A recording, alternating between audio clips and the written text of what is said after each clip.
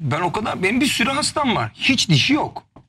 Hiç Ya. dişi yok. Yani tamamı ya dökülmüş ya çektirmiş ya çürümüş.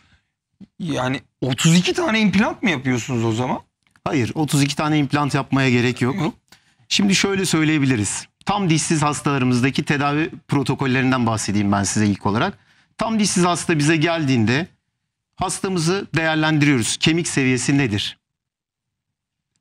İmplant yapımına elverişli midir? Onlara bakıyoruz.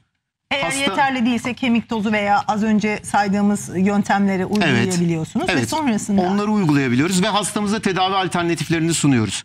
Hasta implant istemiyorsa hareketli protez yapıyoruz. Hareketli protez dediğimiz takıp çıkartmalı protez oluyor. Hı. Bizim o damak dediğimiz şey. Damak demiş olduğumuz Damaklı protez, protez oluyor. Evet. Ya da hastamızın ön bölgesine farklı tedavi protokollerini anlatıyorum bu bu arada.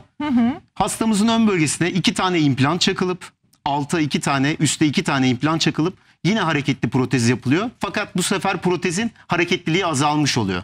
Yani tutuculuğunu Çıkmıyor mu?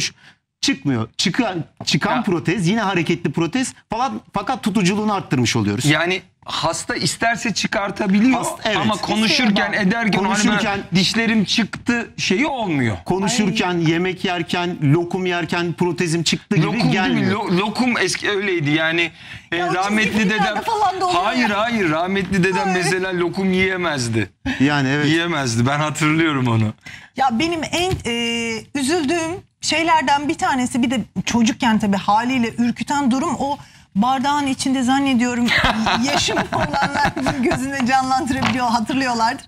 Böyle bir nedense şöyle bir bardakta değil de böyle bir içi görünen bardakların içine konulurdu o dişler. Evet. Gece çıkarılırdı sabah takılırdı. Artık onlardan tamamen kurtulduk. Yok, hayır. Yani çocuklar travma Yo yaşamayacak. hayır Ben benzer şeyden bahsediyor ama iki ne dediniz İmplant- iki aşağıya evet. iki yukarı. İki aşağıya iki yukarıya implant yaptığımızda hani protezin tutuculuğunu arttırabiliyoruz. Üzgünüm Şenay Hanım bu protezler de yine çıkartılıp suyun Hayır. içerisine Suyun konulabiliyor. içerisine. çıkarılıyor, takılıyor ama şöyle değil. Yani en azından artık kendilerince Bardaklar bir şeffaf değil. Evet. Ee, bardaklar artık şeffaf değil ve Sorun diş et, şeyde değil bardakta demek evet. ki. Kesinlikle. Artık bir de e, zannediyorum onun temizlenmesi tabii ki çok önemli. Sonuçta ağız hijyeni baktığınız zaman hep tartışıyoruz iyi ki varsın programında.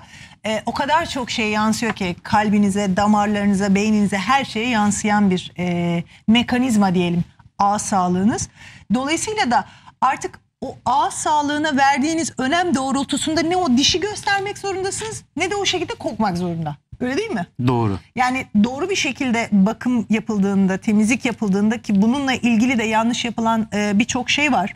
E, eğer süremiz yeterse ona da değinelim istiyorum. E, doğru Memnuniyetle. temizlenmediğinde hem ağız sağlığınıza daha fazla zarar vermiş oluyorsunuz hem de bu sefer o takıp çıkarılabilen e, ya da sabit implantların da kullanım süresi de daha az oluyor öyle değil mi? Tabii ki yani eğer ki hani implantı yaptırdım bundan sonra ağız bakımıma gerek yok gibi bir düşünceye kapılırsa hastamız Hatta tam tersi. çok kısa bir sürede implantının kaybıyla sonuçlanabilir. Peki